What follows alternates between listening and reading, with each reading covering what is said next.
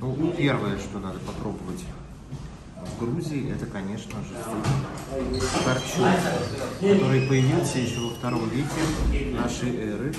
Варят его с рисом и говядиной. Серьезные куски, такие хорошие порции. И в Грузии это, конечно же, блюдо номер один, которое стоит попробовать.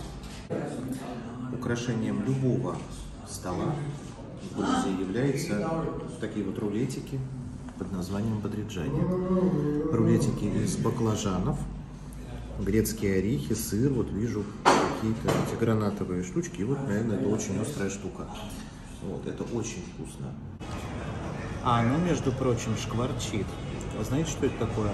Это национальное грузинское блюдо с всем нам известным названием купаты. В советские годы, 50-е годы, когда-то купаты появились в советских кулинарных книгах, и, собственно, об этом узнал как раз весь Советский Союз, об этом блюде, вот что в кишке можно делать вот такие вот удобные мясные штуки. И э, э, тогда мясокомбинаты производили только два вида купат. Первый – это купаты из свинины, и второй – как раз вот имеретинские купаты, которые я сейчас буду есть. Тогда это были купаты из субпродуктов. Сейчас мне кажется, что это уже не так, потому что ну, мне кажется, что здесь э, я еще не пробовал, но я уже ел имеретинские купаты, и э, там, мне кажется, не только субпродукты, какой-то микс мяса, фарш, еще что-то. Вот, так что я надеюсь, что это будет вкусно. Кстати, переводится купаты как сырые колбаски, сырая колбаса. И я очень люблю это блюдо. Надеюсь, мигрельские купаты, я их пробовал уже, я на камеру есть не буду, потому что там у меня слезы льются рекой, там очень остро, красный перец, не знаю, что-то еще, и, в общем, у меня там просто слезотечение полным ходом, поэтому я их просто не съем, придется мне их заказывать просто для видео. Вот, а там как раз, вот, как мне показалось, будут субпродукты. Сейчас я буду кушать самое известное национальное блюдо Грузии, это хинкали. Хинкали здесь бывают с мясом, для туристов бывают с грибами, с улугуни, с картошкой, с какими-то даже фруктами, овощами, чего там только не добавляют. Общем-то, самое известное национальное блюдо. А сейчас хочу вам представить блюдо грибы сулугуни. Это моя любовь. То есть это вот такая вот красота. Они их заправляют в сулугуни и жарят как на кеце. Это очень вкусно. А сейчас я буду приступать к еде с грузинскими люля-кебаб. Называются они здесь кабаби. Собственно говоря, фарш точно так же.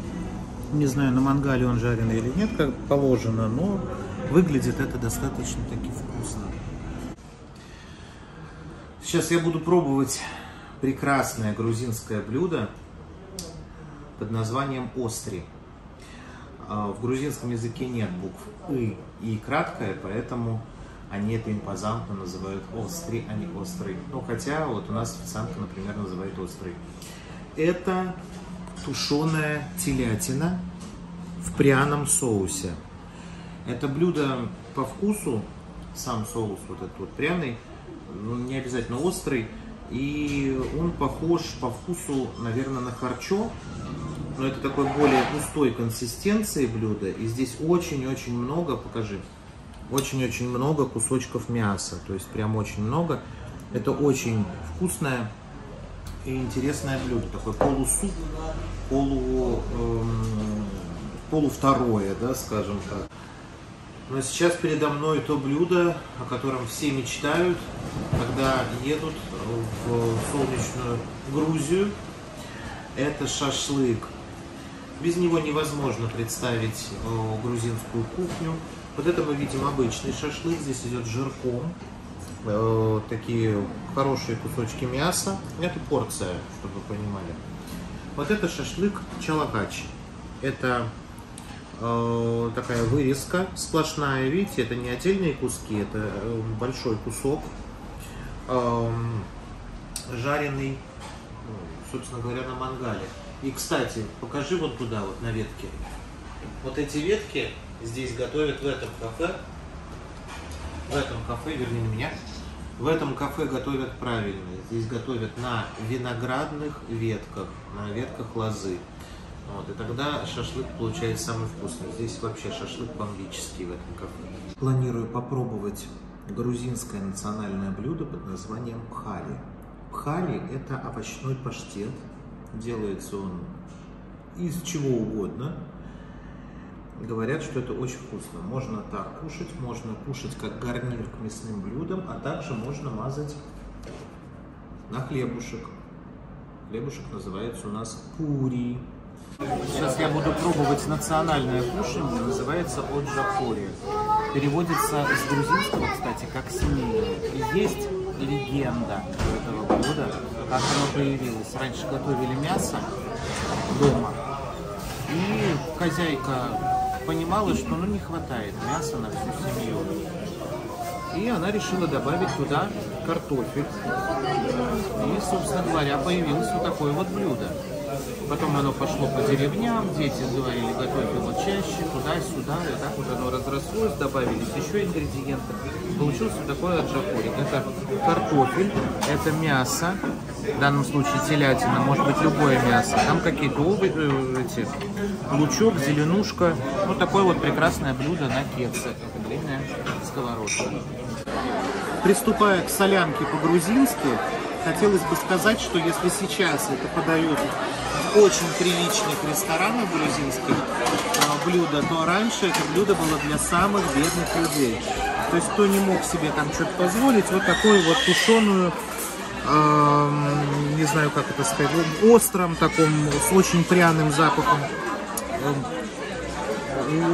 в остром соусе, вот такая вот вещь, да, вот чтобы поковыряться, чтобы вы поняли, то есть здесь у нас идет мясо, здесь идут какие-то огурцы э, соленые, в общем, э, блюдо приятное, вкусное, остренькое для тех, кто любит грузинский колорит. По вкусу, я сейчас даже попробую, по вкусу похоже на остри, например. У них такое блюдо, про него мы уже говорили. Абхазура. Блюдо, которое к Абхазии не имеет никакого отношения.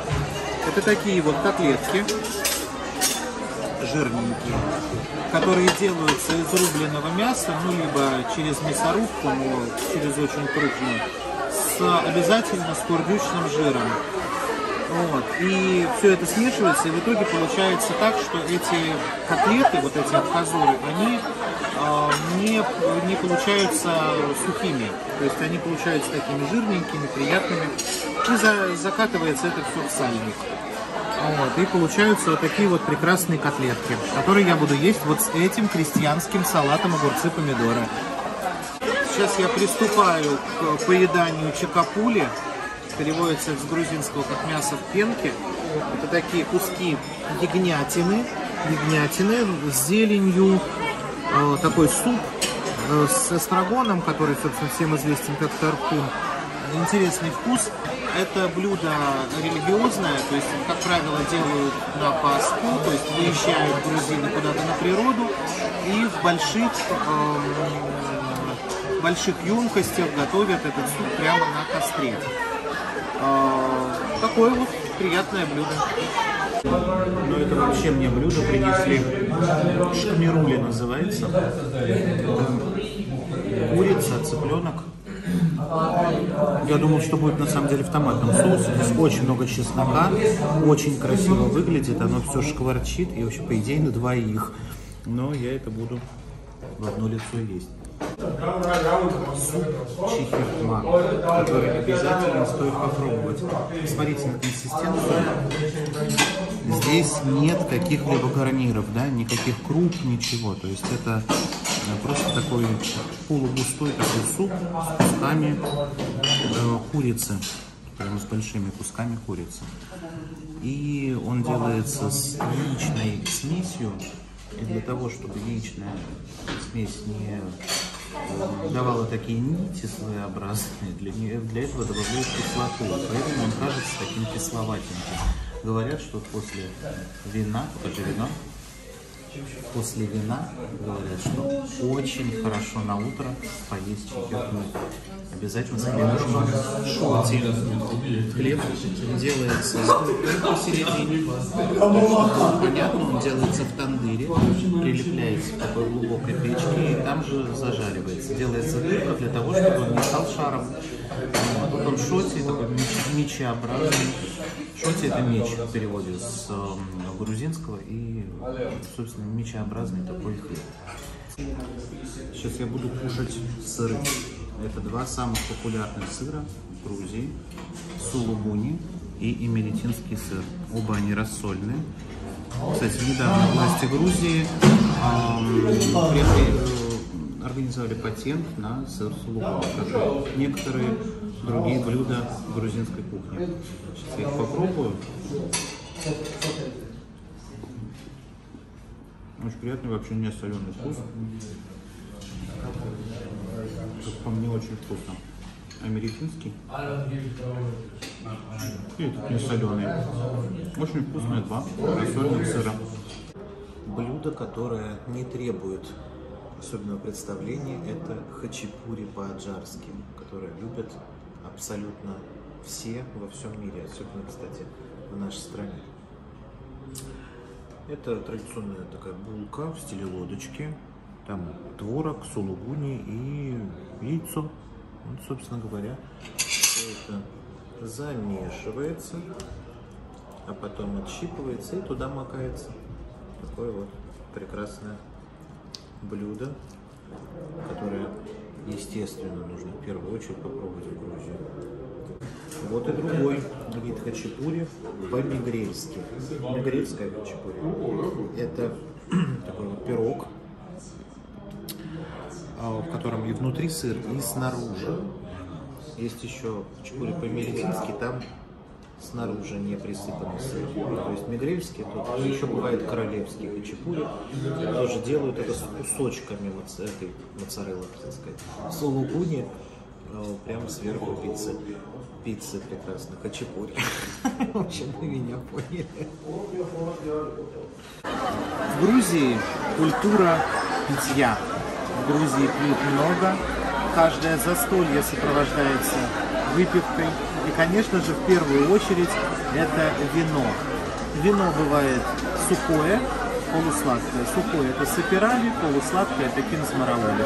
Все остальное это уже не такие популярные, либо очень дорогие вина. Например, Панчкара, Усукалаури, такие вот вина, которые очень мало где купишь, и они дорогие. Вино делается здесь в Квебре традиционным старым способом. Этот способ э, почитается во всем мире, и нигде не могут повторить эту технологию вина. В Квебре э, запихивается, и они в земле такие бочки, такой формы конусообразной, запихиваются в в них виноград вместе со жмыхом, со всем вот этим. То есть отдельно никто ничего не делает. И, собственно говоря, получается вино, например, собирают.